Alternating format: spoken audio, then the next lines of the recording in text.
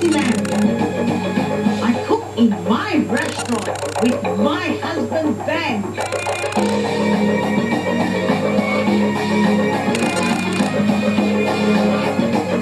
I take you on a journey of Oriental cookery, Nancy style.